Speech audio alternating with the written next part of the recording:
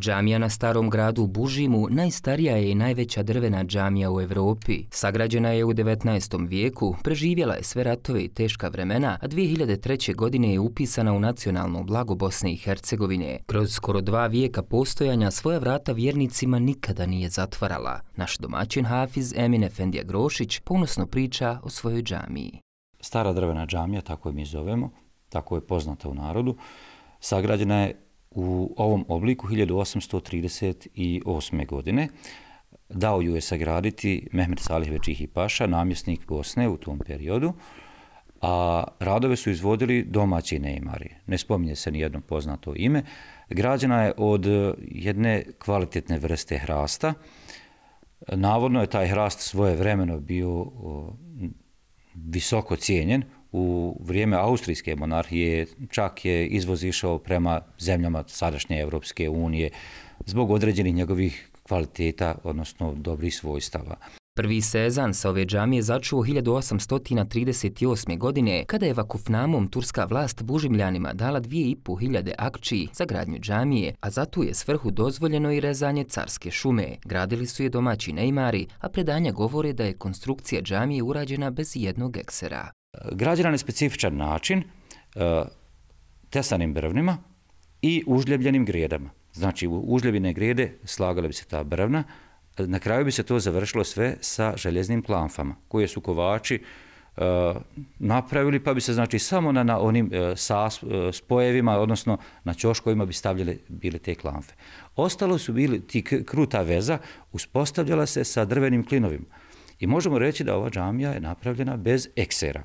Preživjela je ova džamija nemirna vremena, austrougarsku vlast, balkanske i svjetske ratove, pa i agresiju na Bosnu i Hercegovinu, ali je uvijek bila mjesto okupljanja vjernika koji su i danas ponosni na njenu posebnost. Obnavljan je krov Munara, a najveći radovi su bili prije 60 godina, kada su se zbog dotrajalosti morali mijenjati temelji.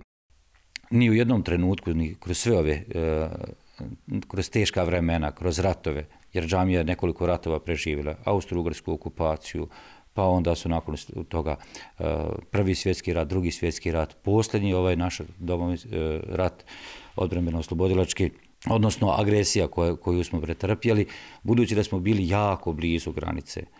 U dometu manje artiljerije, a da ne govorimo o težoj artiljeriji, džamija je također u prošlom ratu korištena, e, odnosno uzeta je bila kao cilj.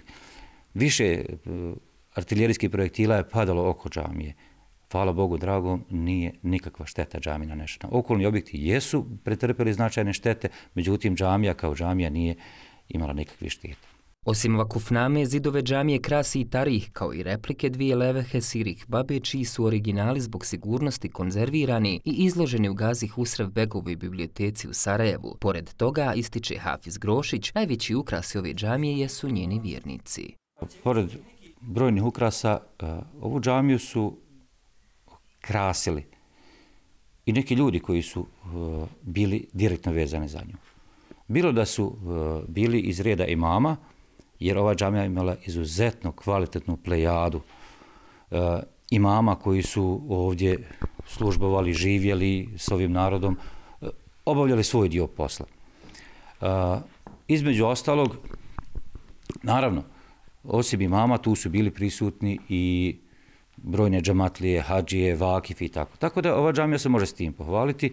Osim džamije u nacionalno blago Bosne i Hercegovine upisana je česma, ali i kamenje sa kojih su se stoljećima iza nas, komšijama i prijateljima obraćali vjernici kada bi nakon Ramazanskog bajrama krenuli na hađ, u to vrijeme dugo, opasno, naporno i skupo putovanje.